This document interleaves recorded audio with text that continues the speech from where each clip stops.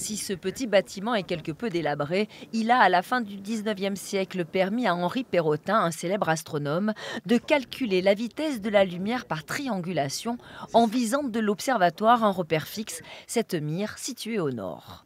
Dans le noir, euh, depuis la grande lunette de l'observatoire, on voit rien.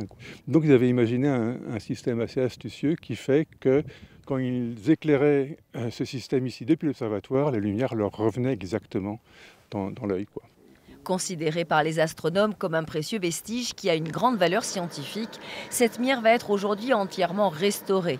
Située sur le GR51, le chemin de grande randonnée, le balcon de la Côte d'Azur, la remettre en valeur est justifiée. On va euh, également non seulement rénover le bâtiment, mais reconstituer la mire, euh, euh, aménager les abords, faire donc, je disais, de la signalétique. Et, également aussi, j'ai oublié, une table d'orientation qui va être située à quelques mètres de là. Laissés à l'abandon, fortement dégradés, les travaux sont devenus urgents, mais la rénovation a un coût, 60 000 euros. L'intérêt historique a convaincu la Fondation du patrimoine de participer. Euh, généralement, les communes se débrouillent pour euh, avoir des subventions, souvent de la région, du département, et elles arrivent en gros à avoir 80% du, montant. Et il reste à leur charge 20%. Et pour des petites communes, 20%, c'est énorme, et c'est là que nous intervenons par des collectes.